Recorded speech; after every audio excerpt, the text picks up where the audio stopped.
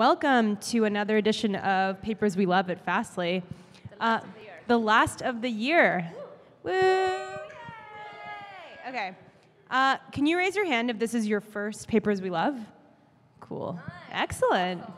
You braved the rain and the cold and the holidays. Thank you so much. We're freaking out about who was going to show up or not. And take a photo. It's perfect. Okay. Um, it's I don't, it's kind of crazy because we just started this meetup this year. March. Inez had the idea to do it. I helped the logistical part of it, and here we are. Um, we have over 400 members in the San Francisco group, which is amazing. A really active chapter. Like all our videos are up. I know Papers We Love, like the group itself, consistently pulls our videos into their channel, and it's great to to see a bunch of people come again and again, and for new people to come. And sorry, just, I'm just taking emotional? I'm just taking stock in the year. I mean, I, it's just me. Um, but anyway, thank you so much for coming. Fastly is a CDN that's super fast and developer friendly, in case you don't know. We are also hiring for most positions if you're interested. I know Tyler was talking to a couple of you, um, and we have a few developers in the back if you want to ask questions or chat.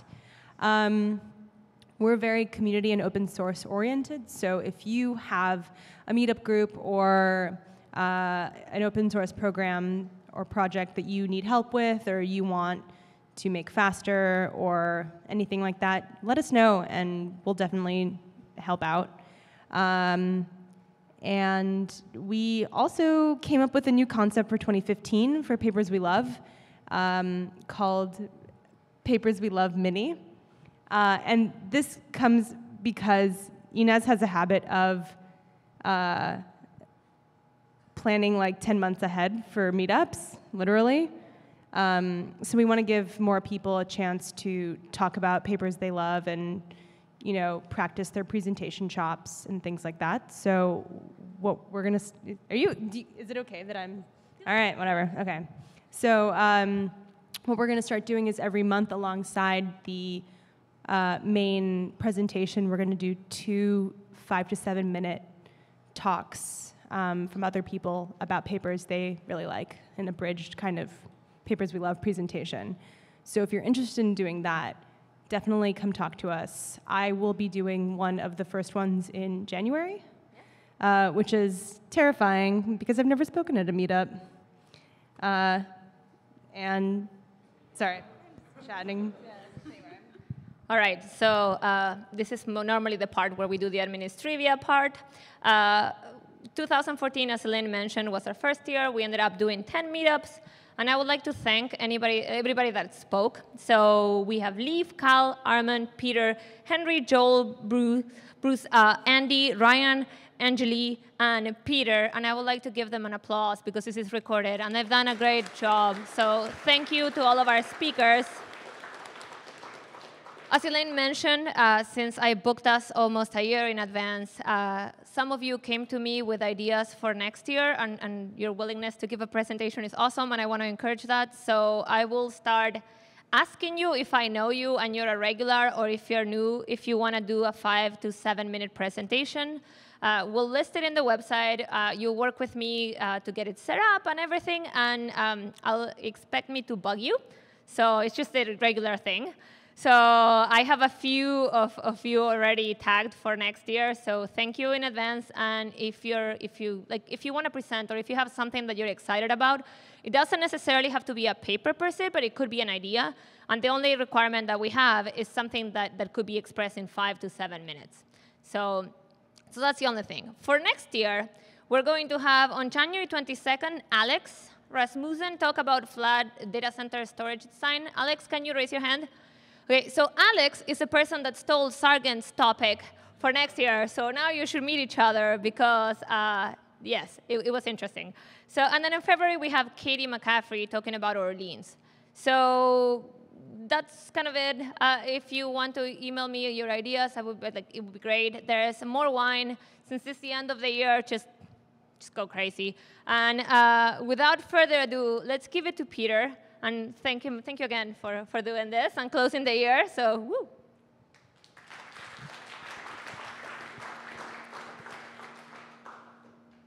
All right, super. Um, awesome. So I'm here today to talk about Bayou, uh, which is a really cool distributed system from, from the past that I think we can learn from when we're building systems today. Um, first of all, before we start, I want to say thank you to Fastly. Uh, I think this is like an awesome event. So I love reading papers and talking about them and discussing them. You know, there's a lot of good papers out there. There's a lot of bad papers out there. There's some in the middle, and you know, discussing them with, with other people who are excited about reading them is just is, is fantastic. So to see an event like this, uh, you know, in San Francisco in the Bay Area is just phenomenal. So thank you, Inez, and thank you to Fastly for, for putting this on. Uh, and thank you all for, for coming as well, right? So it's terrible weather out here. Um, I'm, I'm, I'm, touched that you're all here. And for those of you who are online or in the future uh, watching this on YouTube, thanks, thanks as well. Um, all right, so who am I? Uh, I'm a PhD student at Berkeley.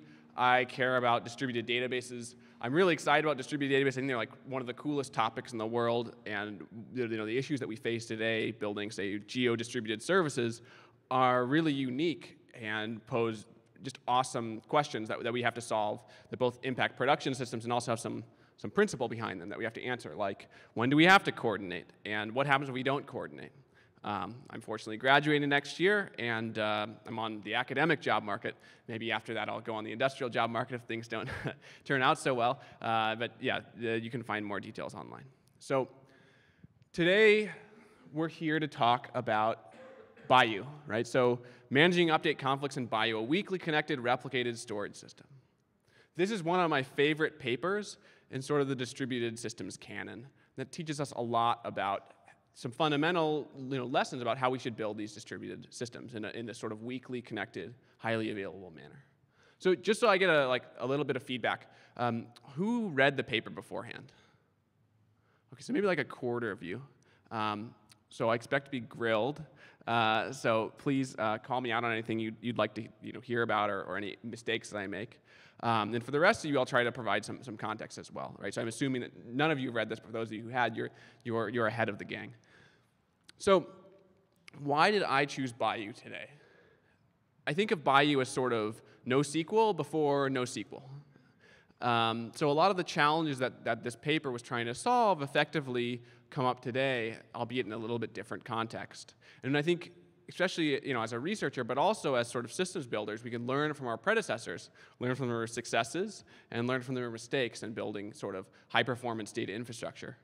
Um, I like Bayou a lot because essentially, uh, you know, I'll spend most of the talk on this. Bayou essentially makes us rethink the system boundary and what that means for an application to try to perform updates in a system, right? It actually sort of brings the application logic into the uh, system execution.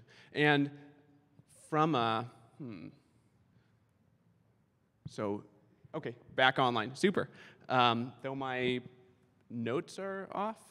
Let's see. Sorry about that.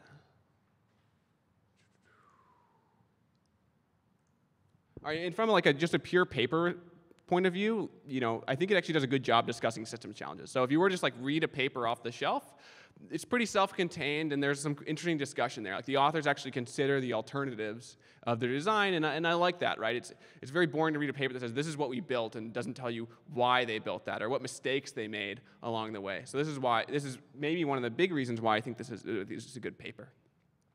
So in terms of the outline, this is kind of boring, but just to let you know where we're going, go over some background, go over the basic system architecture. And I want to spend most of the talk on sort of conflict detection and resolution, what that means in a system like Bayou. We'll spend a lot of time talking about what correctness means and what the concept of order has to do with you know, building high-performance database systems. And then, you know, since we're all, well, many of us are probably building these types of systems and all of us are interacting with them, you know, what kind of lessons we can take away from, from this paper in particular. So to get started, my clicker's kind of coming in and out. Let's just do this. Great, so what's Bayou about? Bayou was written in, uh, well, the Bayou project started in the early 90s, like 1994. Uh, this paper was written in 1995, and around that time, does anyone know what this thing is on the, on the left? An Apple, did anyone own an Apple Newton? Or other sort of hip early PDA? Yeah, yeah, we got the guys in the back. The Psion, is that right? So pretty, pretty serious tech. Um, you know, these devices were coming out finally. You know, I looked on Wikipedia, they go back to like 19, early 1980s. First PDA was like 84. But these, these technologies of like mobile PDAs, which as we all know kind of turned into, turned into these, right, our smartphones, um, were coming out. And, they, and, the, and these researchers wanted to ask, you know, how do we build a storage system that facilitates the needs of these mobile devices? So specifically, when we're, when we're sort of like the, you know the benefit of these mobile devices like like the Apple Newton is you can you know be in the library as the paper talks about you know you're kind of updating your bibliography because you're like a very studious you know uh, student of the of the distributed systems literature and you, you suddenly you can't get on the internet right? And you want to be able to handle this case where we aren't able to connect in a, in a graceful manner okay? Now what's cool about reading papers from from the past right? We're almost like 20 years past this paper is that many of the challenges in distributed systems, particularly in these distributed systems uh, papers like Bayou, keep recurring throughout history, right? So this idea of handling frequent disconnections is not actually new. For instance, you know, there's an RFC. How many of you have seen this RFC? It's from 1975. It's called the Maintenance of, Distribu- of Duplicate Databases. And this is like one of the first mentions of essentially the CAP theorem in uh, in, in sort of the, the literature, right? This is an RFC saying, hey, you know what? If we put multiple databases on a network and suddenly they can't talk, we might run into some hard issues, okay? This is 75. Fast forward to 95, we've got Bayou. And then fast forward to today, 2014, almost 15, right? Made it through uh, 2014, almost. Uh, and we, we run systems that, that run on things like AWS, where we're across multiple data centers, and the cost of communication is expensive, and sometimes we can't even you know, make those, um, you know, sometimes the links aren't even available. So I think that this goal is actually you know, couched in the context of mobile replication in the paper, but, but it, it applies in a sort of a timeless goal, right? Number one, did anyone know the number one uh, fallacy of distributed computing? Peter Deutsch's distributed computing? What is it? Exactly. Right? The, the network is not reliable, okay? And that's kind of uh, this theme that runs through the paper. And so, what's cool about this paper is the authors make a very serious deal about reasoning about this distribution, the fact that we have latency, the fact that we have partial failure explicitly. So, has anyone read this other paper, A Note on Distributed Computing? Has anyone seen this? So, a small handful of people. I'll put these slides online so, so you can get the references later. But um, essentially, in the 90s, a lot of people, like very smart people, were very excited about this idea of of taking sort of your address space sitting on your single box and distributing it. And you call this distributed shared memory. It's like a beautiful idea, right? We can just take clusters of computers and we can interact with just pointers and you know who cares if it's on the other machine okay sounds good right i mean who, who, who wants to use distributed virtual memory to, today i mean unfortunately there's a lot of problems here and this on distributed computing makes this very good case that in a distributed system masking distribution is essentially an anti-pattern. Right? There's a lot of bad things that can occur in terms of reliability, programmability, and so on. When suddenly I access one pointer, I get it in you know, literally microseconds. I fetch it from DRAM and I access the other pointer and I go across the network. And this is like in 1990, so these networks are super, super slow. And I stall for milliseconds, right? It's just not a great uh, you know, sort of way of thinking about the world. We want to make distribution explicit, and that's one of the goals of Bayou. So Bayou sort of embodies as a system this type of um, need to, to reason about distribution. And as I'll spend most of the time on, essentially, there's this problem when we have multiple sort of actors in the system. How do we reason about their concurrent updates, right? And Bayou does a very nice job of, of, of, sort of facilitating, detecting when conflicts occur, and then sort of resolving them accordingly. So if I were to kind of sum up Bayou's goal uh, you know, in one sentence, it would be, you know, how do we build a system that allows update anywhere, so any server can respond to any request, but still allows users to easily build correct applications? That's a pretty tall order. There are many databases today that are still trying to solve this problem. And I think the techniques we'll talk about today can actually be used in, in those systems as well.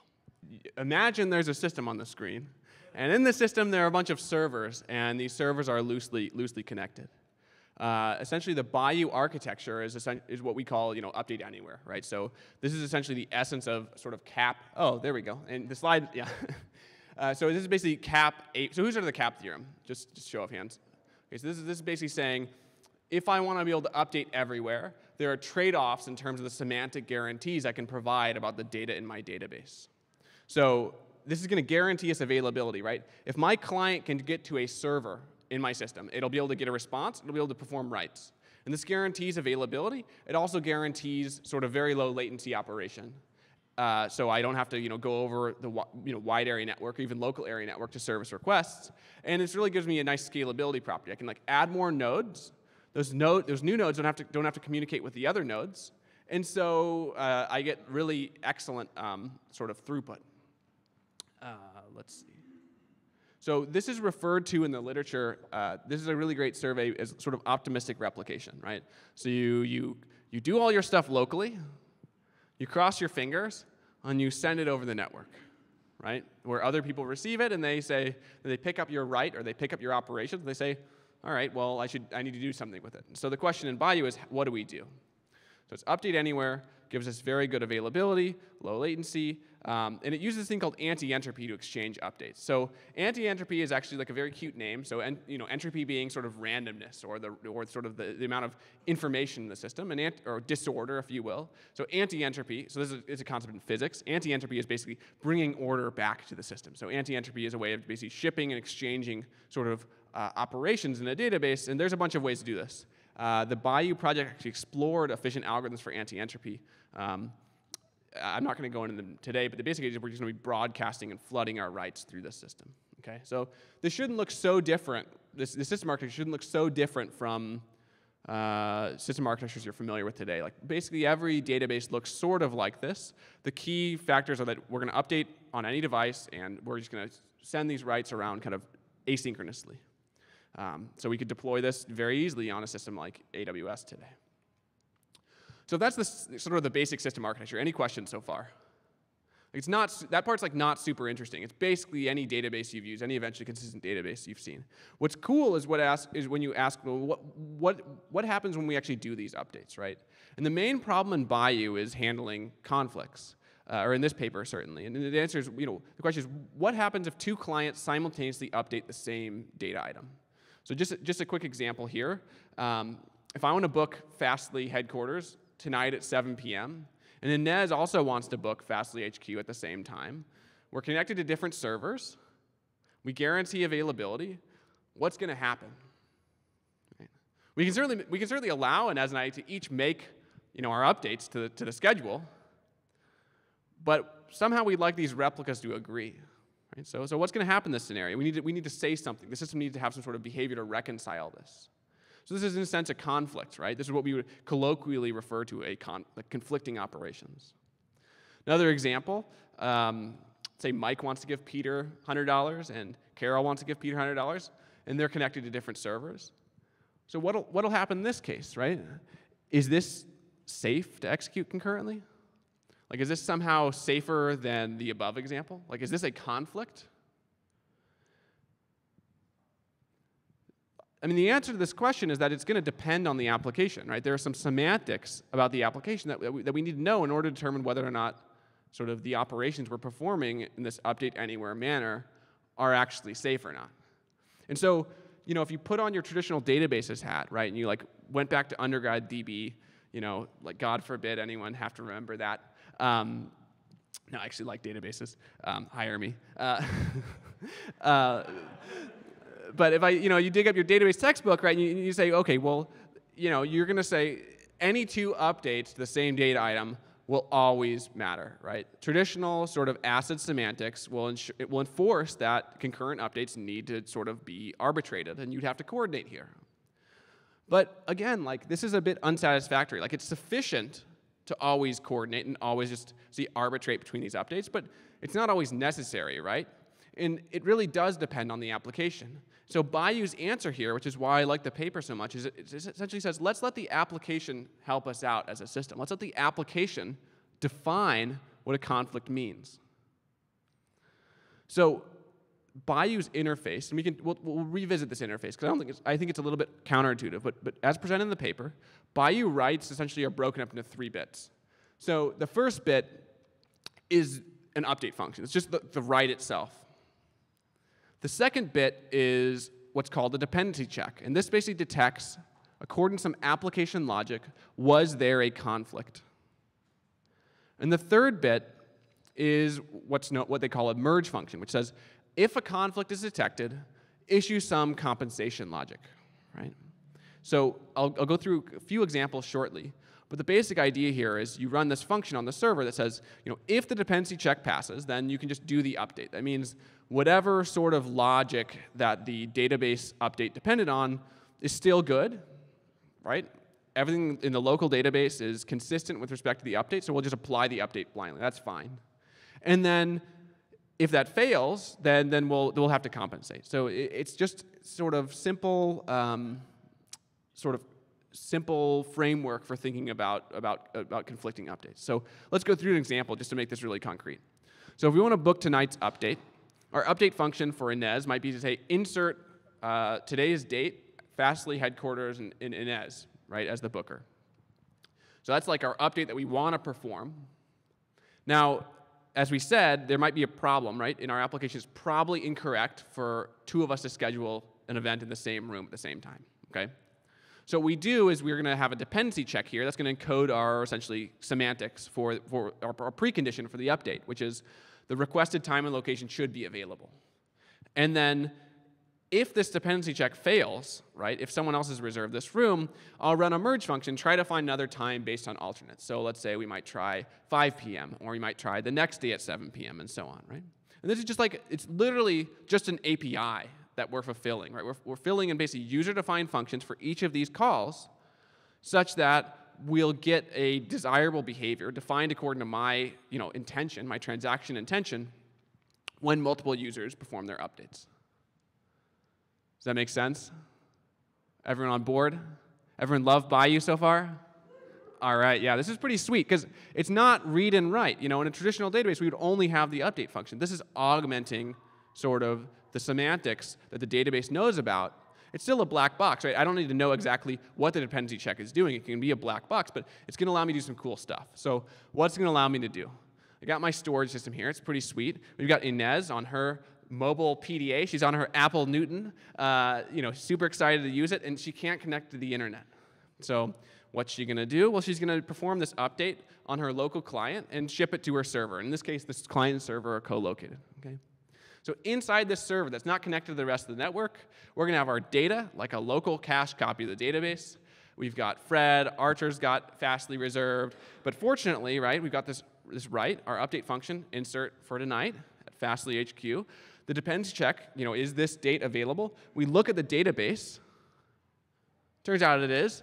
We can book, we can have papers we love tonight. That's pretty, that's pretty awesome, right? So in this case, the dependency check passed. We just apply the update blindly. Okay? Now at this point, we've only got the update on one server. So that kind of sucks, right? We want other people to know and hear about what, what you know, sort of um, time we chose. We want to make sure no one else chose that time as well. So we're going to ship this update to other servers. And we're going to do this essentially optimistically. So recall, we've done our update on one server. In the background, just asynchronously, doesn't matter, just opportunistically, using any number of algorithms like flooding the network, uh, or, or doing something smarter to say version vectors like Bayou does. We're just going to send this around to all of the servers. So this is, this is pretty sweet. So uh, what we've got, single server, and then we're just going to propagate this around the system. All right, so everyone on board? So let's look at another example. Let's say we want to do something a little bit crazier, because I'm a crazy guy. I want to do money transfers in Bayou. So my update function would be say transfer $100 from Jan to Mary. And my dependency check would be, you know, does Jan have $100 in her account, right? So I don't I want to make sure that Jan has a positive account balance remaining. I'd really hate to, to burn my friend Jan and uh, leave her with an overdraft, right? Uh, and, and, you know, if there's if there's not, you know, if this isn't satisfied, if, if I would leave her with an overdraft, I, I, I don't want to issue this, this operation. So my merge function is going to be like log the error, right? So I can come back later and say, damn, sorry, Mary, couldn't, couldn't issue that transfer for you, okay? What does this one look like? Well, uh, we've got this update function, transfer $100. So we'll perform our dependency check in the database. Does Jan have $100 in her account? The answer is yes. And so we'll actually decrement Jan's balance by 100 and add it to Marcia. So this isn't super, super interesting. Um, but we can do that. And if I add another sort of transaction or another operation here, say transfer $100 from Jan to Peter, and perform another dependency check, does Jan have $100 in her account? Uh, we see here that if I execute it, the dependency check's not going to pass, right? So Jan's got $10 left. I can't execute this logic. So this is like super, super, maybe this is boring, but it just illustrates that essentially depending on the order in which these arrive, I'm going to I'm gonna be able to sort of fulfill my transaction or my operation intent, right? So this is all good and well. It's kind of cool. We've got this sort of store procedure-like transaction model. So what, what, what's wrong with this? What's wrong with this picture? If I've got Jan over on this server, and she's generating her balance transfers, right? Sending them around sort of optimistically throughout the system. There's no real ordering guarantee behind this. If Jan's the only user in the system, that's fine, right? I mean, concurrency and sort of data corruption or, or these update conflicts occur only when there's really parallelism or concurrent users updating the same data. So if Jan's the only one in the system, this is, this is an okay picture, but we should start to get a little nervous, right, when we're allowing update anywhere. And along comes Marcia, and Marcia makes her set of updates, and oh man, so Marcia not only updated her value before, before she saw Jan's update, but this guy down in the lower right-hand corner, he also didn't take that into account, right? So we can end up in a situation where eventually we deliver all of the updates, but suddenly Greg and Bobby, I think that's Bobby. No, Greg and Peter, sorry. Greg and Peter, you know, are seeing essentially different states of the world, right? We apply these in different orders, we're going to get different outcomes. Okay? So we've got a problem. Does everyone, does everyone see what's happening here? So what, like, what is this problem actually getting at? We, need, we want to sort of guarantee that servers eventually agree, right? This is, this is essentially, this is just eventual consistency, right? After writes have finished, at some point in the future, we'll get the same value for every you know, data item, for every, on every server. And the way that we're going to do this is we're going to decide on sort of a stable prefix of writes. So what does that mean? I, I basically want to get a set of writes that won't change in the future. And I want to make sure that everyone agrees on that same set of writes. And we'll just keep growing that set. It's really a log, growing that log over time. So, how do people today solve sort of eventual consistency? What, what type of things do people do? Who here has heard of last writer wins? Right. All right, so last writer wins is funny. I like calling it, you know, I think it was Justin Sheehy or maybe Kyle Kingsbury who, who like calling it some write wins. And that, you know, when there is no now in a distributed system, timestamps get very messy. But we could imagine, say, ordering writes by, by timestamp, right? In fact, sort of the, the Bayou paper has timestamp writes just to sort of identify individual updates. So you can say this is from uh, one server, this is from another server, and sort of reason out an idea of uniqueness in the system. But this, this has some drawbacks, right? So who here has probably used a last writer wins system? Okay, so there's some, there's some challenges here. Um, Bayou alleviates some of them in that, you know, we're still going to be able to ship these merge function around, but it's going to have some other problems. So, so let's say we give Jan to Marcia timestamp 10. This is awesome. Like we executed this on our local replica of data, and life is, life is great. Well, remember, anyone anywhere in the system can keep making updates, literally on any server. And so, you know, when we start to receive these messages, we, get, we gain connectivity again, we're going to have to start processing these writes. And if we get another write that comes in, say our second write from before, and this guy has timestamp 2, suddenly we're in a little bit of trouble, right? We have to now reorder these transactions. And in fact, the Bayou paper talks a lot about how they handle sort of this undo and rollback.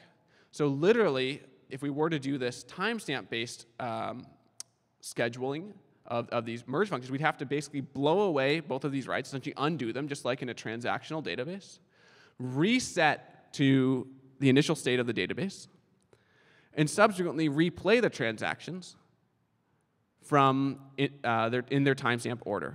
So in this case, Jan to Marcia would fail, right? So we're essentially going to have to go back in time, insert this thing in the log, and then replay from there.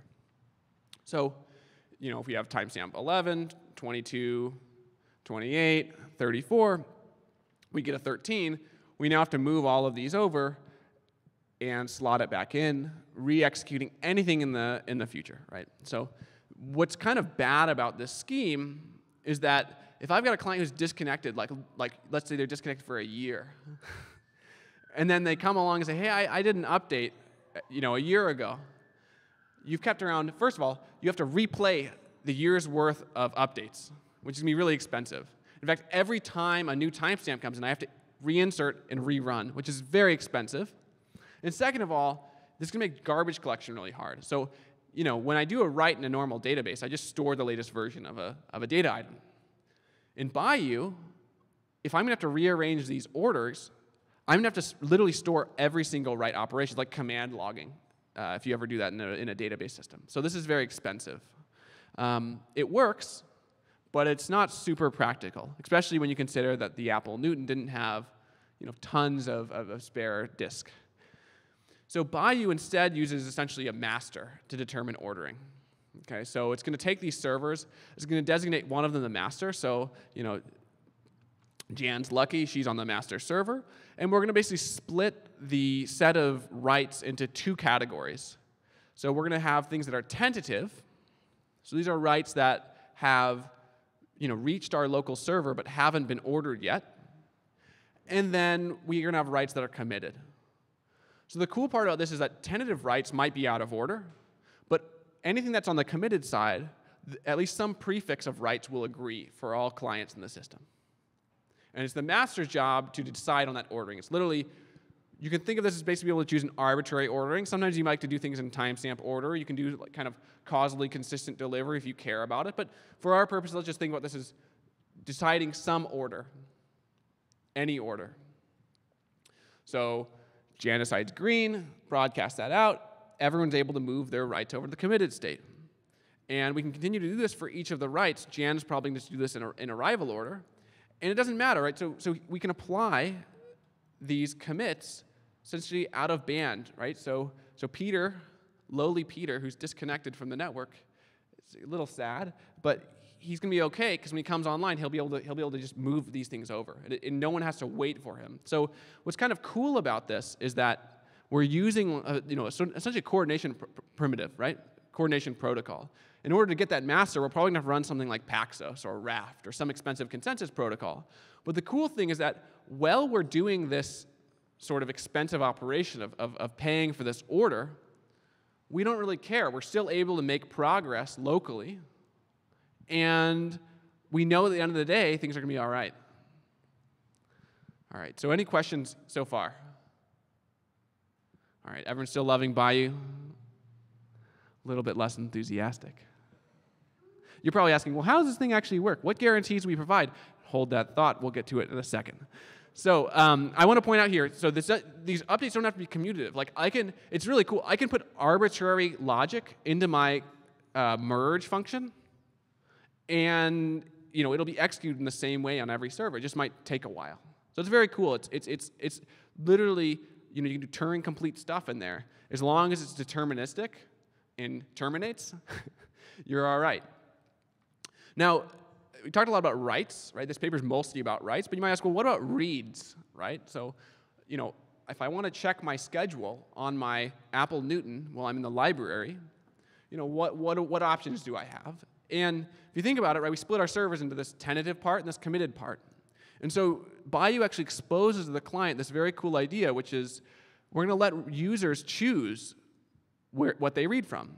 So you can read the stable stuff, the committed writes, If you want to get a pristine version of the world that will not change or will only grow over time, you can do that.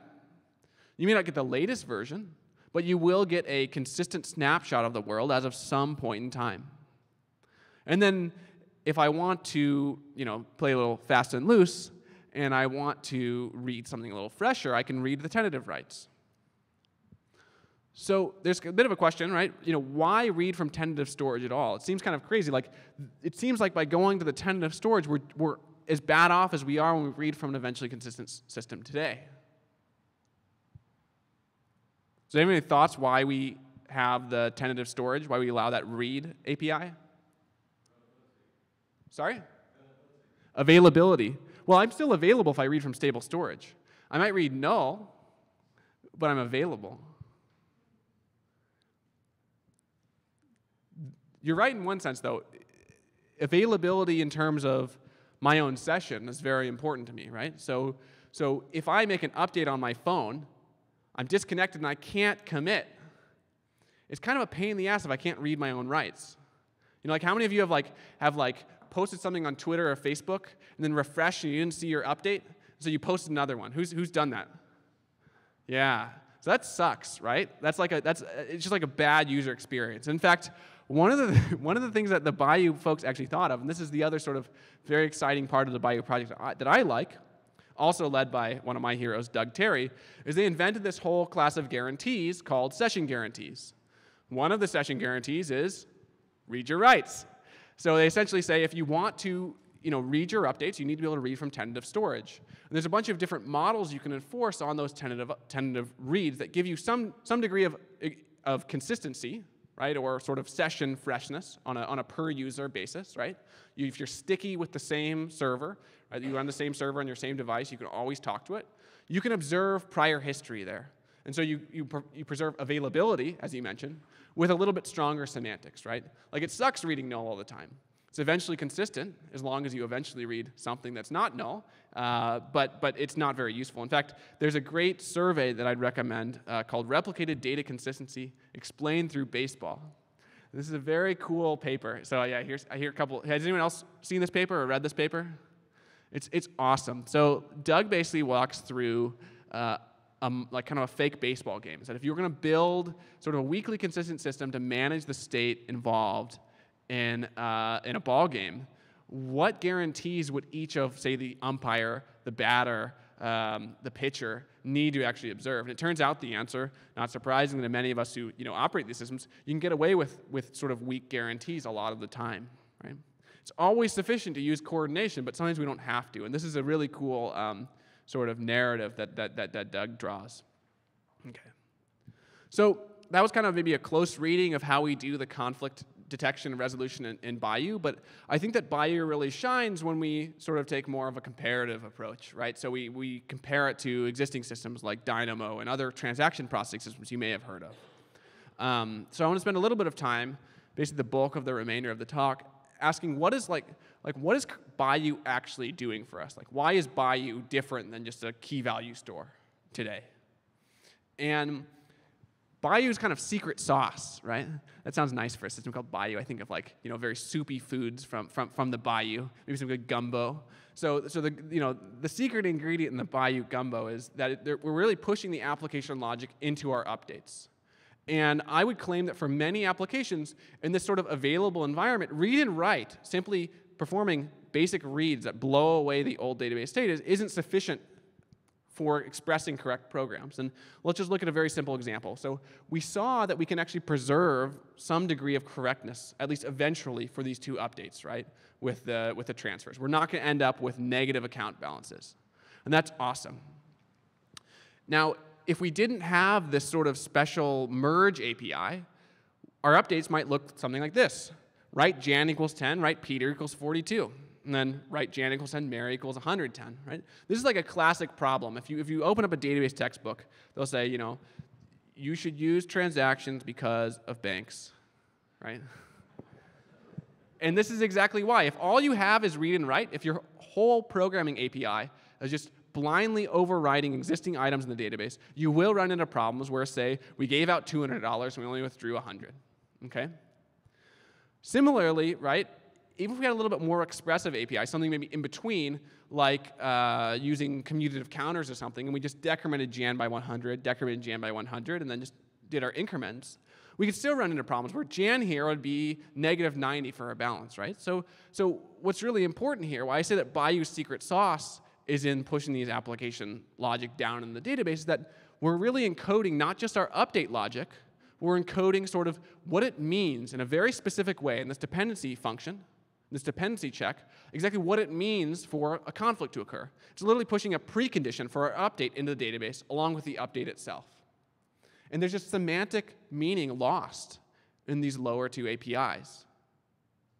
There's no free lunch, But if we're able to take advantage of these types of sort of programming constructs, have the system know, have the, have the programmer actually you know, do a little bit more work and tell us what they care about, what the semantics are, we can do a lot better. And so what we're doing here, the way I like to think about this is we're capturing the transaction's intent. Right? So we're not just capturing the after effect, we're capturing what the, what the program was trying to do, what the action actually means to the system, and, and these dependency checks effectively encode preconditions. So um, has anyone programmed with things like guarded atomic actions or Prolog or anything like that? Okay, a few of you. Yeah, so this, you know, you can, this is like you have a rule and you say, only if this rule fires, right, apply my update. So if this is kind of my take on why Bayou's pretty cool, um, it's useful to think about, you know, what does it actually guarantee? So when you read a paper, you should be really skeptical and say, does this thing actually do what I think it does, what the author said it does? What are the actual guarantees that the system's providing me? And in Bayou, fortunately, uh, I, I, you know, I haven't proven the protocol correct, but eventually all updates are applied in the same order on all servers, right? So this is a very powerful guarantee. Basically, we do arbitrary program logic. We can or, it'll order it in some arbitrary way, and we'll get the right we'll get some right answer or some serial execution of the updates. You guys should like be squirming in your chairs little bit, like, wait, that sounds a lot like ACID transactions. That sounds a lot like, say, serializability. Like, like what's what's going on here, right? And we can be it, it, it's, it is it's crazy, right? We're actually enforcing you know, a total ordering on all of our updates. And then we're still maintaining availability. And we're enforcing all kinds of, you know, arbitrary integrity constraints, right? Arbitrary checks in our application. So this is like too good to be true. Like, did we just beat CAP? Did we? Like, did we just do the impossible? It sounds sounds crazy. I mean, I might, I might need to write a blog post on on on I should know. All right, um, on Hacker News. Uh, but no, there's, there's, there's worse things I could say. Um, no, it, it, I mean, this stuff's very confusing. So, so, so you know, the key here, right, when you're when you're dealing with these definitions, you're like, okay, what what the fuck actually is this system doing? You have to be very careful. And so, there's a very important word in this first sentence that we should be aware of. So, so what's the important word? Anyone have any ideas? Eventually, yes. So, if we want to know the total order, we still have to wait, right?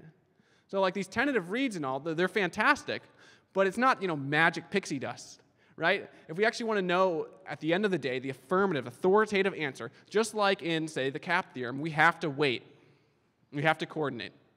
And so what's actually kind of cool about this, I was, I was thinking a lot about this paper, and I said, hmm, you know, there's a lot of cool transaction processing systems like HStore or VoltDB.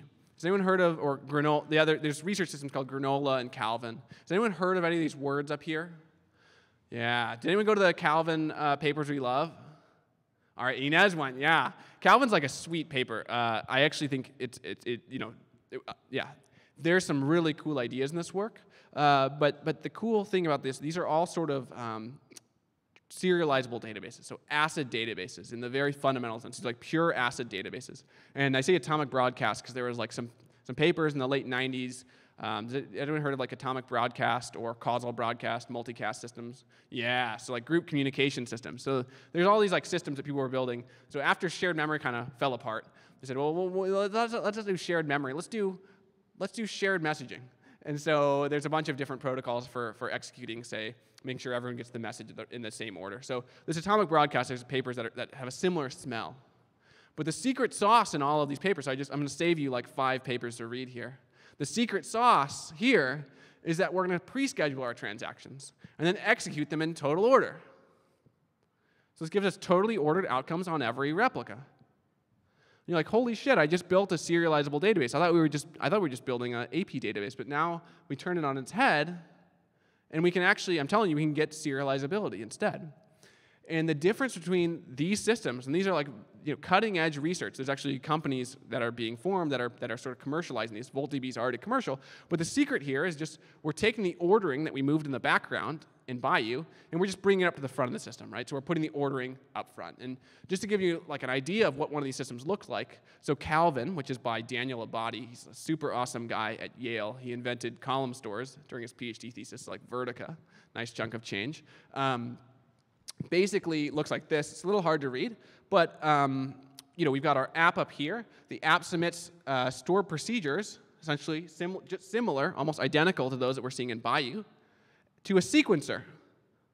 Oh man, that's pretty crazy. So it's literally a Paxos based sequencer that takes in all these store procedures, basically in a giant queue, you know, give me more transactions, give me more transactions, gets a batch of them, totally orders them, and sends them out for in order processing on each server. It's just Bayou if you squint. So if you wanted to do this, right, and turn Bayou into ACID, essentially all you have to do is, given some transaction T, create a write W where, you know, your update function don't do anything. Always fail your dependency check, and then just execute the transaction in your merge, right? Now, this would give you sort of, uh, you know, transactions executed in a total order. If we want to make sure that we get the right answer, that we actually wait for the answer, we could just wait for W to commit in Bayou and then notify the client of success. And in fact, that's, that's as simple as you could, you know, as you can get. What we're doing here is in Bayou, we would drop step number two, right? We wouldn't actually wait for the write to commit because we, we don't want to wait. But if you wanted to turn Bayou into a serializable database, you could, you could actually just put that extra step in. Now, like in fairness to all of these other papers, there's actually a shitload of like system optimizations and implementation details that they like take advantage of, right? It's kind of stupid to use a master for commit if you have a partially replicated system, for instance. So there's a lot of cool tricks that they do to, to achieve high performance. But if you wanted to, just to like put this in context, if you wanted to, you could actually turn Bayou and do a and do a thing. So I see all of you are like starting to dial on your cell phone. You know, like call Doug Terry, like give me that Bayou source code. I'm going to build a you know next Spanner. You know, um, hold your breath. What's also kind of cool with this, um, and this is just a paper that I, that I really like that came out recently. This is also from, from Daniel Abadi, one of my sort of heroes at Yale. Um, this is pretty crazy. So imagine you're in this system like Bayou, right? If you don't care about tentative reads, why execute the transactions at all? So I can just queue up a bunch of writes. I've got them as store procedures. I'm literally going to take lazy evaluation, just like in a functional programming language. I'm going to evaluate the transactions on demand. It's a crazy idea. Like normally we just are like, shit, I gotta finish these transactions. I gotta do these transactions before I commit. I. I gotta make sure it's on disk before it happens. Like no, all you gotta do, log that store procedure. Don't execute it. Only when you need to, only when you need to read it, you can actually uh, do you need to execute. And it's, it's just like it's like a really brilliant idea. It's a little bit harebrained, but like this is why we do research. And so it's a cool paper to check out if that sounds if that sounds nuts. But it's like lazy functional evaluation meets databases, which is just like mind blown. All right, so we eventually have to wait. That kind of sucks, right? Um, it's just a trade-off. It's a fundamental trade-off. If we want sort of a total order, and we care about the outcome of the program, we're going to have to wait. And this leads to some kind of awkward stuff. So for those of you who read the paper, like there's some kind of funny sentences here, like, all right, we made a meeting room applic- or we made a meeting room scheduling program, but you know, you, we can't actually like decide or vote in this application, right? Because that would require waiting. So you know, it's okay if you've decided that you want to meet in a certain room, and you've already decided what times you care about, right? It doesn't help you determine a mutually agreeable place and time for the meeting. So like, like that kind of like you'll reserve a room, you will get a room eventually that is either the room you requested or one of the alternatives. But like that decision of like coming to consensus about what room you wanted, like it's kind of out of scope here. Like you could do it, right? You know, you can make like you can make like pipe run MapReduce if you if you really want to, um, but but like it's not really a natural fit here. So there's some semantics that that are fundamentally going to require sort of waiting here. And there's an interesting question like, when can we avoid waiting at all? Right, so when, for instance, would tentative reads make sense? So just a, you know, this is a little bit of a whirlwind tour, but you know, the paper discusses that, for instance, if my logic is commutative, I can just put it in the log and it's fine. Right, so like if I'm, if we're all just giving money to, to, to Fastly, right, we're all just like donating, donating, donating, donating, and like that's not going to cause any integrity constraint violations, then we'll just like put it in the log and say be done with it, right? We don't have to wait for it to commit. And the paper talks about this. This is like a well-known trick. Um, quick note on commutativity. So who here has like heard of like why commutativity rocks and it's it's like a super useful concept?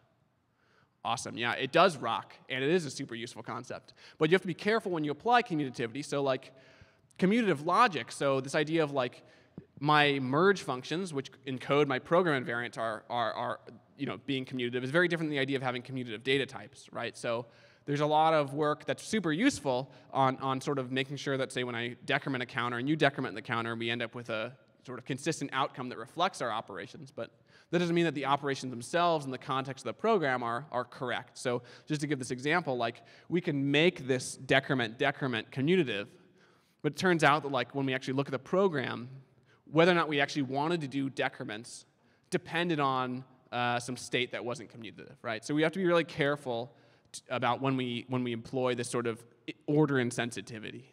And um, like this is super useful. Uh, I'm super excited to see databases adding these types of data types as like a first class primitive, but they don't always ensure correctness. So that's a little bit oblique. Um, ask me questions at the talk. I read a blog post on this a little bit, but I think it's very, very important to realize that like Bayou works not because we push down a little bit of the application, like you literally shove the whole uh, update logic into the app or into the system. Right? All right, so we have commutative logic. We're okay. Just be careful what we mean by commutative. Um, there's some work by my colleagues. So Peter Alvaro, who presented, I think, two months ago, has this thing called the CALM theorem, which basically says if our if our log if, you know, if our logic is monotonic, and it basically means like the program state only grows over time, we never retract facts. It's like, well, if we're like literally only adding things to the log, we never change the value of anything we wrote before. Sounds kind of like immutability. Then we don't need to wait for commit. So this gives you determinism despite different ordering. And actually, Lindsey Kuper has a nice thesis on this topic um, uh, about these things called LVARs. And then uh, some of my work is basically asking, you know, can we give sort of guarantees on intermediate reads? So we've got this thing you can read about called I-confluence that says um, if this condition is, you know, is met, we can guarantee sort of safe outcomes with respect to your dependency functions uh, while still guaranteeing convergence, right? So there's, there's like a range of criteria, I would say. This is sort of like, like life after Bayou, right? Where they said, you know, like the paper discussed this one. That's like kind of cool, right? Commutativity is cool. There's like a cool bunch of cool theses from, from MIT. This guy William Weihl, who now does green computing at Google. Like uh, back in the day, he was like hardcore distributed systems and databases guy. He spent a lot of time on this. And then recently, there's been a lot of interest in sort of understanding when we can avoid that, because fundamentally that master kind of sucks, right? It kind of sucks having to, having to pay that, that coordination cost. The master's down, we have to wait. So it's often nice to avoid waiting at all and just read tentative and know it's committed. All right, running a little short on time, so I'll go quickly through, through the rest. Um, what about immutability, right? So as Pat Helland would say, immutability changes everything. It's actually a great talk. Uh, you should find it online. Uh, he's got a paper now on it too, uh, in, in, upcoming in, in January. So Bayou's stable log, right, is, is immutable, right? So like once we've committed something, we can't go back and throw, throw away any of the records in it. So it's just it's the same trick, right? Like event sourcing, Lambda architecture, like whatever you want to call this, this pattern. It's like super useful. Just log, log the transaction intent. And then, you know, as long as you agree not to change it in the future, then you can just execute it. So it's, it's just like a very common pattern that you know, is very, very early in the literature. Now, the one caveat here that I would say is we have to be careful what, what guarantees we make about the outcomes in the log, right? So, again, if I'm, say, issuing concurrent withdrawal requests, making these withdrawal requests immutable or logging sort of these immutable events doesn't guarantee that I'm going to win, right? That I'm going to be able to get my withdrawal request processed. It just means that we're not going to fuck up according to whatever we pushed in the application, right? So in a sense, the immutability part's kind of kind of the easy bit here, right? It's just like make sure you log this stuff and then come up with a way to totally order it. Reasoning out the outcomes is actually a bit of a challenge. And and what and the you know the real problem here, or the real kind of open question is when we when we can't wait, but we need to get an answer, right? Like let's say we're actually running an ATM and we don't know you know what the other actors in the system are doing. How do we build systems that, that are able to provide a safe response? So another question. So why, like, it's kind of like, I love this paper, but as I was reading, I, I, I kept asking myself, like, why, is, why do we have this merge? Like, what, what's going on with this merge? It's very, very strange. Like, why not just ship store procedures and re-execute them? Right, so we've got like this three functions. It's a little bit, did anyone think this was like a little bit kludgy, like when, we, when, when I presented it? Maybe not. Okay, you haven't been like reading this paper every day for the last week. I actually, yeah. to their credit, I like it a lot. But, but you know, you, you got to ask, like, why the fuck didn't they just write this? Like if Jan has $100, transfer the money. Otherwise, log the error. Like it's just, it, it's a, like you ship a function, right? You don't care what it is. You can just ship a black box. And, and I think, you know, to be fair, like this is like 1994. So they make some claim in the paper like it's really expensive to spin up a Tcl interpreter every time you want to evaluate merge, right? So like if we want to run a, a, black box, we have to spin up the Tcl interpreter. It's probably gonna you know overload the Newton, drain the battery. I don't know. I mean it's like a serious issue apparently in 1994. But I think like if I were to write this paper again, I would actually just say you know just ship a store procedure. It's okay. Um, and uh, you know it, life will be. I mean it's little. It's like just sugar, right? But um, you know, when we talk about merge functions in other contexts, like you may have heard of them in like these commutative data types, they're much, mu they have much different meaning, right? They're actually like sort of some, some system designer said, here's how you write a counter, and here's how you merge together counters, right? This is literally just like merge functions function literally these black box. It's like, this means like insert or update, dependency check means black box, merge function means black box. I just say, you can think of this as just put it all in a box. And there's a cool paper called Eventually Serializable Data Services by uh, Nancy Lynch, so like uh, FLP, Nancy Lynch, proof of the CAP theorem, Nancy Lynch, that basically says, oh, you could build a database just, just by doing this. It's kind of the same idea of sort of building and eventually, uh, you know, it's not it's serializable, but if you do reads in the in their interim, you're going to get garbage data out. So it's it's a very similar idea. Um, all right, another paper I love. Uh, it's kind of funny. Uh, my, one of my colleagues, Neil Conway, actually wrote a whole paper basically saying if all you're doing is shipping kind of uh, the not exactly store procedures, but imagine you're shipping around these logs, right? This event log exchange. It'd be very nice if you knew when you could garbage collect pieces of data, right? Not just like the update functions themselves, as in Bayou, but like, let's say I wrote something, it's immutable, so I can't like overwrite it. I'd like to like, you know, eventually throw it out, otherwise just keep growing my data forever.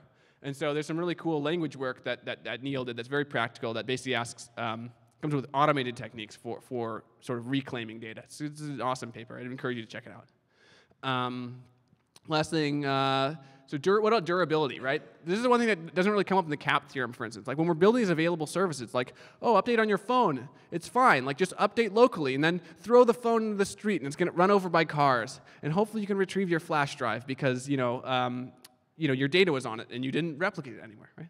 It's kind of a problem. Like there, there is an overhead associated with making this stuff durable that, that deserves attention. The paper doesn't spend too much time on it, but I would claim, and this is sort of my uh, a bit of a polemic, is that you know durability and consistency are sort of orthogonal, right? So durability says, you know, if you want to survive F faults, you need F plus one server. So if I want to survive one fault, I better put this somewhere else. And then, you know, if I want something like strong consistency or serializability, we usually require something like a majority of servers, right? So totally, in Bayou, local updates where f equals zero. Bayou is essentially f equals zero, right? You can't tolerate a single failure or lose data. Um, but, but the point here is that I can put data in Bayou essentially on any server I want, and it'll be fine, right? So, you know, if I want to have more, more durability in an update anywhere system, I'll just get like a backpack of PDAs that I replicate to, okay? like, like I can do that. But, but like, you know, let's say I, so I've got one and I've got like five in my backpack, maybe like one in my skateboard.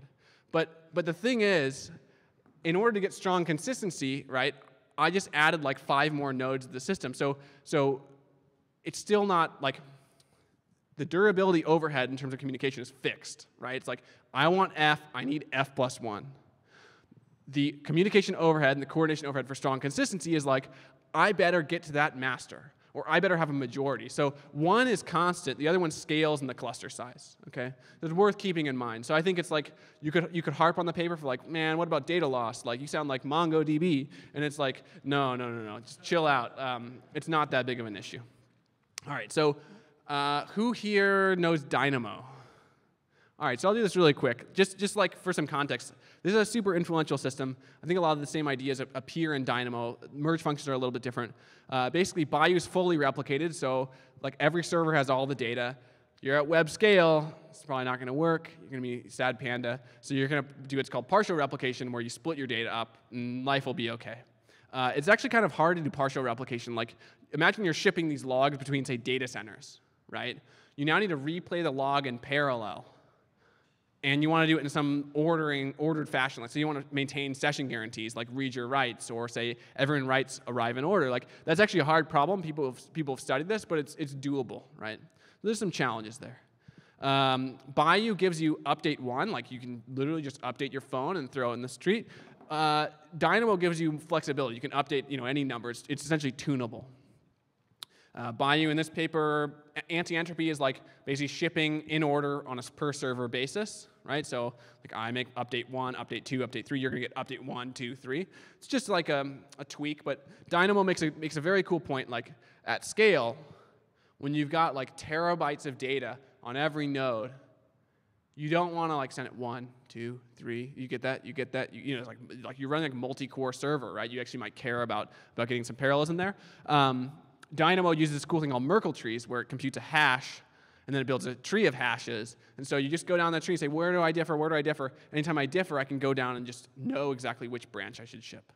Um, Bayou does a server-side merge because it pushes the client code down to down to the actual server, right? So like the update function is actually not right. It's like this giant hairball of basically store procedure. And then Dynamo, it's like, nah, man, you do it on your own time. Like I'm gonna just gonna I'm just gonna like barf a bunch of concurrent writes to you, and you're gonna give me back one, and it'll be it'll be copacetic, right? So so it's a little bit different. There's some efficiency challenges, but you know, imagine like Tcl/Tk is pretty cool, but I want to write my merge function in Python. You know, you might want to go with the client-side merge. Um, Bayou has this idea of global stability detection. So essentially, like we have this master that's deciding when we've seen stuff, and basically, and we can say, hey, did this thing commit yet? Did this thing commit yet? Did this commit yet? Like, it's actually very useful. Dynamo doesn't really have any notion of stability. It's kind of like, I'm gonna spray your data around with some nodes. It'll be cool, and like, eventually the right thing's gonna happen. But it's not very um, clean when it comes to asking, did it hit all my replicas? It just says, ah, you, you know, you, I wrote to five nodes, right? They might have been the ones that were your replica, and you know, eventually we'll fix it. But it doesn't, it, you can't query for that. And then the last thing is, um, Bayou doesn't really give you strong consistency for, for updates. I can't do read, modify, write unless if I block, like I talked about. And Dynamo gives you kind of this weird um, uh, quorum-based semantics. All right, so uh, that was most of the talk. I, I think it's worth kind of finishing up. Any questions before I, before I finish up? All right. Uh, so like, what did we learn? Like, why do why do I think you know people should read Dynamo? Um, you know, a lot of the ideas kind of in NoSQL, right? Rethinking what consistency means, letting the application do a little bit more of the heavy lifting is, is, is I think, can trace its way back to, to Bayou. And kind of the answer here is we have to involve the applications if we want to get correct data. We look at our goals, handle frequent disconnections. You basically just embraced update anywhere. Like you kind of have to do that if you want to guarantee availability. Reads about distribution explicitly. We're going to require the app to do some more work. And this conflict detection resolution is all about using these merge and dependency APIs. Okay. So it's pretty nice set of techniques that, that we see, you know, in practice today. So to leave things on like a little bit more of a, you know, maybe philosophical note, um, I think it's worth thinking about, you know, what does Bayou mean for the user? What is this, what, like, we essentially simplified a lot of things in, the, in our design, but whenever we simplify, we take something away. And so Bayou makes this point, it's kind of an offhanded remark. You know, weakly consistent replication has been used previously for availability, simplicity, and scalability in a variety of systems. And indeed, it has, and it continues to be used. But, but I want to ask, you know, simplicity, like, what do we mean by simplicity? So is it simplicity for whom? So it's certainly simple for the architects, right? We just say, hey, anti-entropy, like just spray that shit, you know? Life's good. Just keep sending. Uh, it's good for the people who have to build the system, right? You don't just have, you know, these Xerox PARC guys hanging out and say, yeah, you know, it'd be cool if we commercialize this. And, you know, they say, oh, it's great. All I have to do is just like, you know, use, you know, TCP multicast.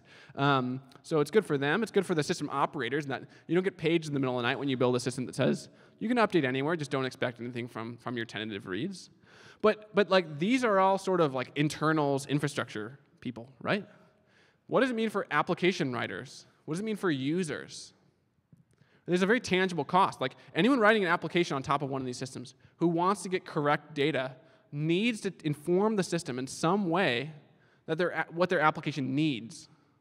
Bayou gives you the interfaces. In fact, it's one of the best set of interfaces that I've seen for completely specifying sort of application invariants and what an update actually intends to do.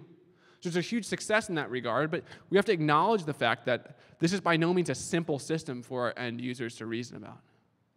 I think it's considerably better than the systems that we have today, right? Where we can use, say, last writer wins or some right wins and cross our fingers, and sometimes we get the right answer. And if we're very careful and clever, we can, we can get the right answer, but we don't have the same system support for it. So I think it's important to kind of think about what that balance is in the APIs we design versus you know, what makes our lives easier. And, and just to make this clear, like, unfortunately, these are sort of perennial challenges, right?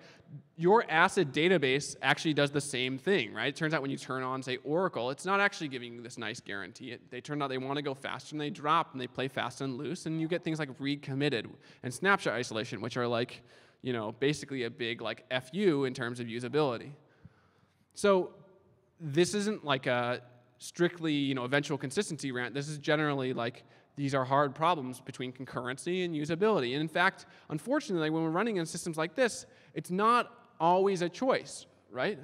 If we don't want to pay the cost of the speed of light, like, you know, your SOL, like, you know, you're essentially dealing with relativity here. You're going to have to deal with the idea that that some of this is, you know, you know, it's going to be concurrent, right? Literally, I can go around the globe seven and a half times in a second. That's it. If I want to do more than that, if I want to facilitate global scale services, I sometimes have to make these choices, and my users are going to have to deal with it. Or I'm going to have to work more closely with my application developers.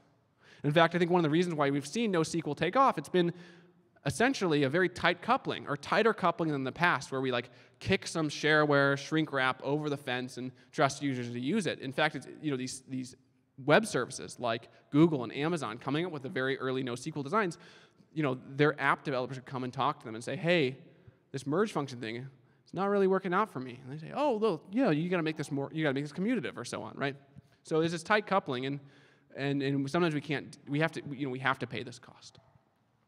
All right, another, another kind of, I'm to get even more spacey, like, uh, so, you know, there's 2.6 billion internet users in 2013. There's 7.1 billion humans on planet Earth as of 2013. And so at a certain level, like we might scratch our heads and say, like, well, you know what?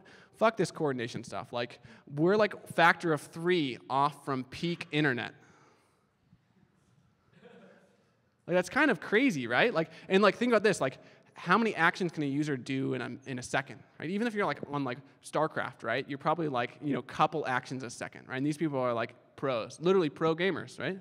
Um, so in a sense, this is like maybe a little bit, you know, like why do we care about all of it? Like, oh, fortunately, we can put all of that by all of that eventual consistency stuff behind us, right? That's like life is good. Just gonna, you're just gonna drop some Spanner, and, and life's gonna be great.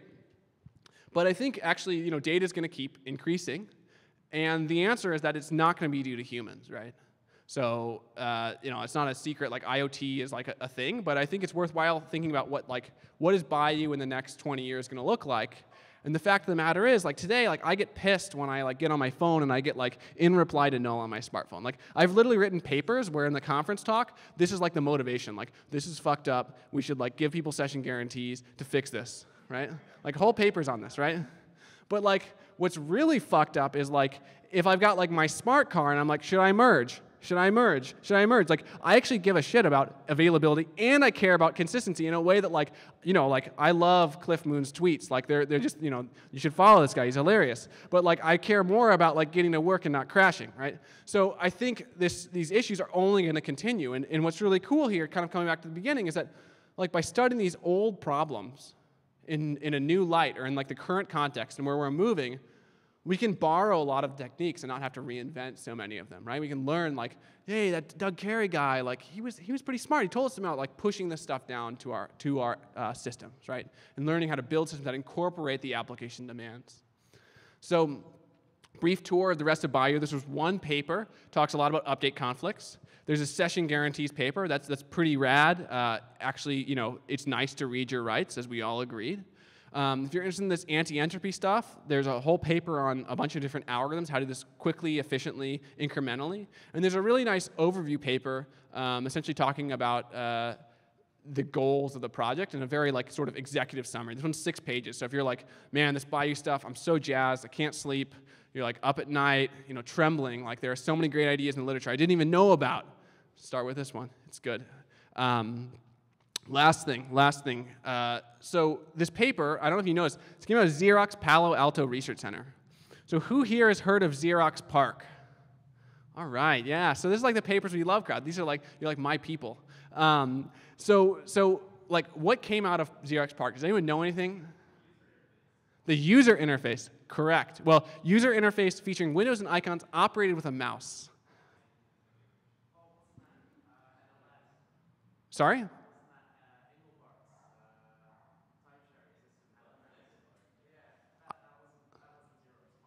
That was not Xerox PARC. So they had them. We can. Man, you're going down the. Are you on Wikipedia? Because I was on Wikipedia earlier. Okay, so, so yeah, so we got like laser printers, the GUI with the mouse, right? So yeah, there's not not the first GUI, but it's the GUI with the mouse. WYSIWYG, um, PostScript, like God forbid, you know, pre-PDF. It's pretty like whenever you find an old paper on the internet, you download it's like a .ps. You open it up, it's like converting, converting, converting, converting. You get a PDF. It's like you know it's the good stuff because someone's still because because it's like it's like 2014, right? And someone's still posting PostScript to the internet right? So either it's like from like before God on like some FTP server, like doesn't even have a like literally you don't like you don't even have like a URL. It's like Google has indexed the IP address, you know, FTP colon whatever the fuck IP address, then something.ps. You're like this is gold. Okay, so so so that came out of PARC Ethernet, uh, Smalltalk, model view controller, and then naturally, let's hear it for Bayou, right? Bayou came out of PARC. All of this work. Thank you. Yeah. Mo- moment of silence. So, so, so you know, I think this is fantastic. Like, it's just a, it, this is really forward looking research coming out of Xerox, of all places, right? So this is like essentially non commercial, forward looking research where these people are saying, how can we reinvent, reinvent and re envision sort of the future of computing systems? And what's really cool is that you know there's been a there's been a history of these. So there's Xerox PARC. There's a thing called DEC SRC, which is kind of a, one of the uh, successors of Xerox PARC. And then there was Microsoft Research Silicon Valley. And you had people like Leslie Lamport, Chuck Thacker, uh, Butler Lampson, all of them doing work here, doing fantastic work just like Bayou. And I'll leave you on a bit of a sad note, and I don't know how many of you know this, but Microsoft Research actually recently closed its doors in Silicon Valley several months ago. And I think it's a little bit sad. I mean, I'm in academia, so academia will continue to fly the freak flag of future looking research, right? Non product oriented research. But I think it's a little bit sad there's not really a home for this type of work in the Bay Area right now. I mean, there are industrial research labs, but really MSR Silicon Valley campus was the premier destination over the past several years. It did fantastic work on things like DryadLINQ. It basically invented differential privacy in the early 2000s. I And just a fantastic group of people who were really innovating. And now, essentially, there's no home for this, this product, for, you know, non-product oriented research in Silicon Valley right now. So I think there's a big question, who's going to fill those shoes? All right, what can we learn? So more positive note. We learned something tonight, right? Learning, learning is great, even though we might not get any more papers uh, like this in the, in the near future. So integrating application logic is really key to correctly executing these systems. Uh, if we don't have these application-specific mechanisms, it's basically a recipe for data corruption. Right? There's all sorts of bad things that can happen. Uh, maybe we care, maybe we don't, but if we want to build usable systems, there's, it's nice to provide them APIs like merge and repair.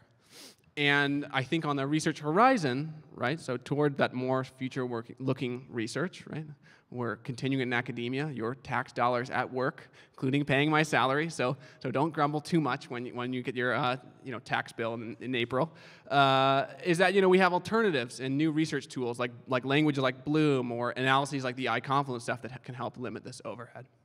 So the future is bright. We can learn from the past, and thank you all for being such a wonderful audience.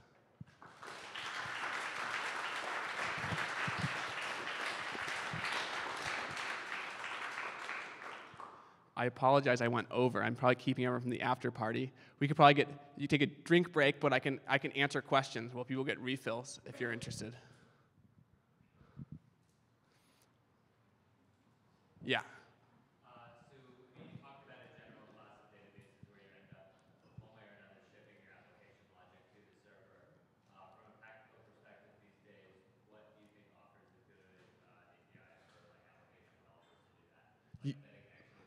Yeah, exactly. So, how do we actually ship store procedures practically today?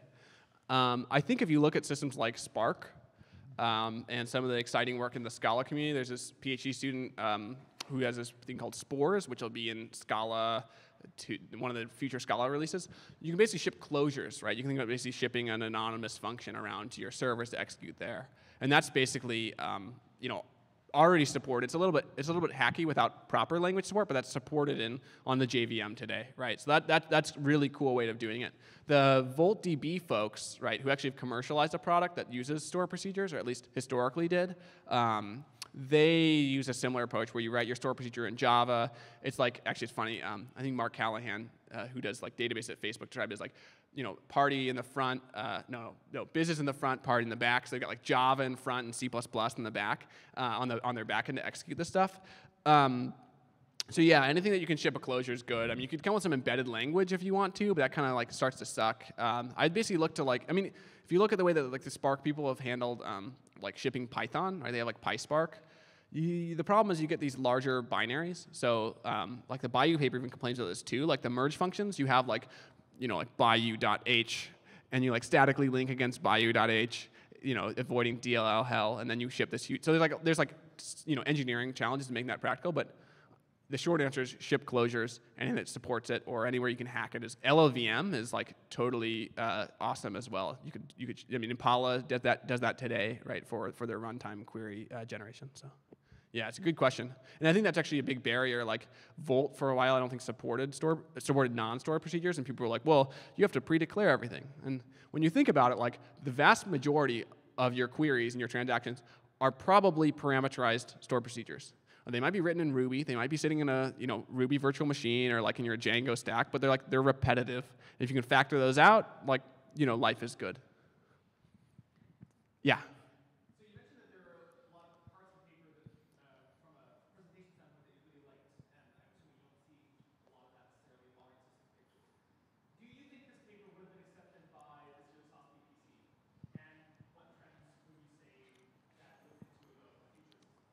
Yeah, that's a great question. So uh, I like the present. So I like the presentation, but um, you know, would it, does it stand the test of time today? Or uh, test of time is different. So I think it stands the test of time, but would it be accepted today as is? Um, I'll say Doug Terry, who until recently was actually at Microsoft Research Silicon Valley, and was continuing this line of work, had a, had a, has had a number of successful papers. We had a SOSP paper. I don't know if it's OSDI or SOSP this year, but he's had basically top tier uh, systems co conference papers uh, in the past two years on consistency, you know, SLAs for these types of systems. And it's really cool work. Like Doug's work, these types of consistency SLAs are now part of the Azure storage platforms. Like so, look at Impact from SVC. Doug's got it, and, and you know, it's shipping in product today. Um, so you know, I think this type of work is still super relevant. You know, you change the motivation, right? You're not going to say, I mean, there's a funny, like, in, in the paper, they say, like, you know, you wouldn't want to turn on your Wi Fi in the, in the library because there are going to be student hackers. and it's like, I wasn't sure if that was a joke or if someone was, like, really cranky. But um, uh, that's all, yeah. So, um, you know, that probably wouldn't fly today, but you, you know, you swap around the words, right? All of the problems uh, persist. Um, I do think, in terms of style, the evaluations of this period don't really stand the test of time super well. Like to convince someone that your system's a good idea, it's often awesome to just like bombard them with ridiculous performance numbers. Like bajillion transactions per second, you know, and people say, "Oh my god, like how did you do that? I got to read the rest of this paper." Like some people who like literally start papers by reading graphs.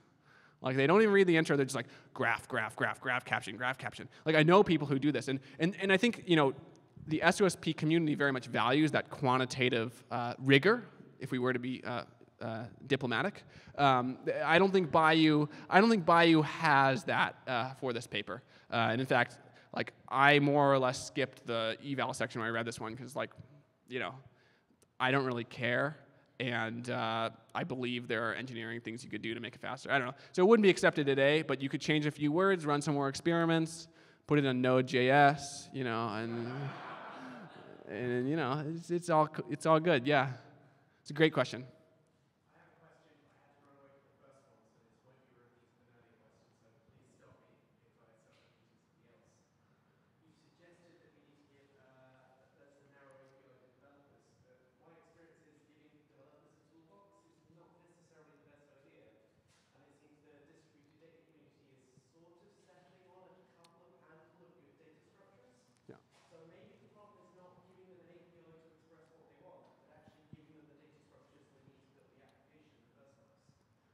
Yeah, that's a, so. Yeah, that's a great question. Basically, why give them a toolbox when we can give them like widgets that they can compose, like commutative counters and sets and all this stuff? Yeah.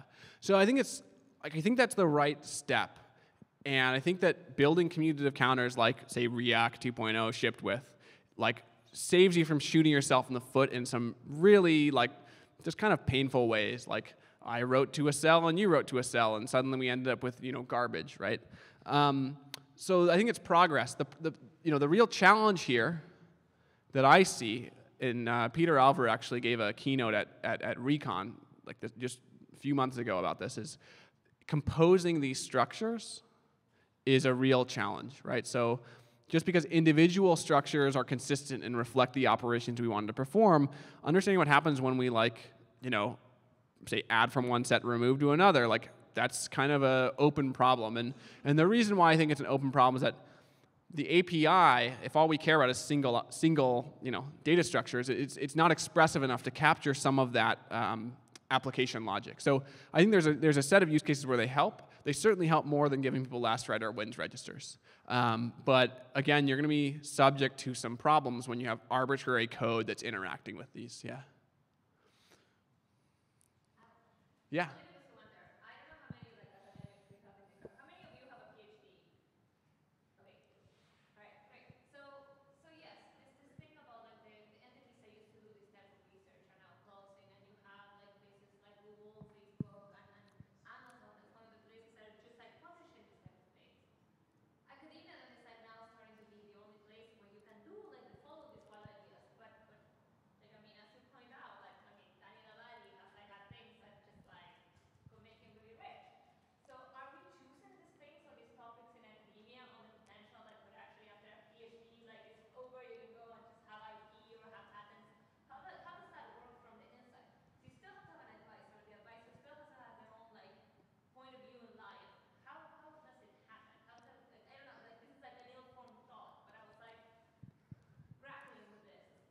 So, so yeah, there's this question like, what is like the industry academic complex? Like, what does that like look like, right? Or what's that?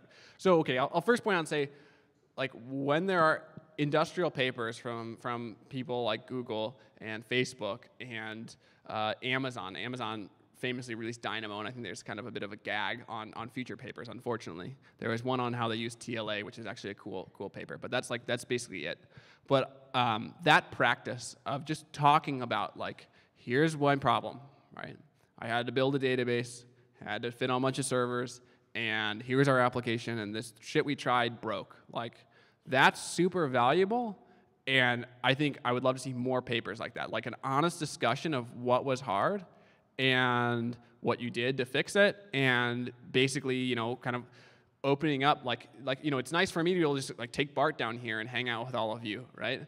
But like there's like you know thousands of people in, in academia who can't so easily get, get access to developers. So I think there's a serious value in research, you know, research papers like or industrial research papers from you know Fastly, right? Write a paper on Fastly CDN. It'd be awesome, right? And actually, these, these, these conferences, including like uh, at least NSDI and these systems conferences, certainly all the database conferences have a particular track for this, and, and I think I would love to see more of that. So before I go into academia, like there is awesome stuff to do in industry. I think the applied stuff is important, it is relevant, and as like I think the issues people are facing today actually deserve you know, full treatment in the literature. So, you know, we can hear the problems and then, then start, then, then it comes to the, how we close this loop. But so write more papers, write industrial papers. I'd love to see more of them. Um, that said, so what does it mean to like do research and like commercialize it and so on? Like, essentially, so this is just my take. I, you know, I don't want to solve today's problems necessarily. Um, you know, you all are much better engineers and product managers and architects than I am, right? And you have more resources to, to do those types of activities. So, you know, the way I see it is there's like a bunch of kind of open problems, like, like how do, when do we have to coordinate, for instance? And there's a bunch of problems that matter to you all or that potentially will matter in the next five to 10 years. And it's my job, or I take it upon myself, uh, as a applied computer science researcher. I, I do systems to kind of identify problems in that intersection. Okay? So it's you know systems for a plausible future. That's the way I like to think about it. And so, you know, towards that end, my research is, is a success when the problems we anticipate or the problems we solve are actually become applicable. And when a, when a piece of research becomes applicable, you know, sometimes people just take it up and implement it. Like if someone wants to implement some of my algorithms, like, let's talk. I'd love you to write, you know, I'd love if you would write my production quality code. Um, but, but, you know, sometimes you, you have to take that extra step. So, you know, would someone have picked up the C store idea or the, the, the, column store idea had Mike Stonebraker not ran with it, gotten his VC buddies and his, you know, sort of group of um, management executives and engineers together to actually like make a company out of that? Like, I don't know, but but commercializing the research is a surefire way to at least. It's not a, it's certainly not a surefire way to success, but it's a surefire way to at least um, get commercial validation or try to you know see if the idea succeeds in the real world, right? And I think what you see is like a lot of students will do a thesis, like Abadi's thesis was on column stores. Theses, theses take like five, six years on average. So, you know, you have this idea, you like flesh it out, you look at it like from a bunch of different directions. There's a really funny, like, uh, I don't know if you guys have seen this comic, but like doing a PhD thesis, like this ball of knowledge, and you have like a little pimple that you make that like expands the ball of knowledge. so like, but you know, so you incubate it, and you know, if it comes out at the end of the PhD and it, it comes, turns out like the assumptions you made it makes sense, then commercializing it makes a lot of sense. Um, but I don't think, you know, you like the PhD for sure, and academia in general is like not the place to be to make money, right? There are people who have a very successful careers commercializing their research, but ultimately, I think the people who are happiest are the ones who just kind of want to think about interesting problems. And as a systems researcher, I want to researcher, I want to find things that are interesting to me and interesting to you know what I perceive to be you know future challenges. Yeah, it's a little bit vague, but. Uh,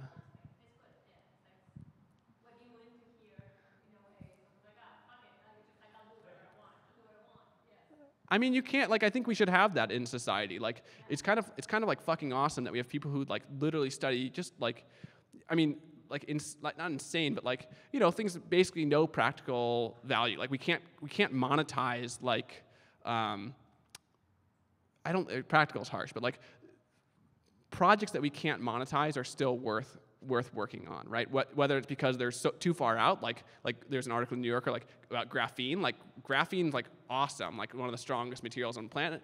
We still have no way how to like actually scale it up, make transistors and so on. But like let's do that in the hope that it might become valuable someday. And then also like there's you know a lot of cool people in academia who like do like critical theory, and it's like what is like the human condition? Like what does Foucault have to say about like power, and how does that apply to like you know modern society? Like that's, that's like that's like beautiful that as a you know as a society we support that. So, I, I but but as an applied systems researcher, I feel a little bit of um, uh, obligation at, some point to, to, to answer some practical questions as well.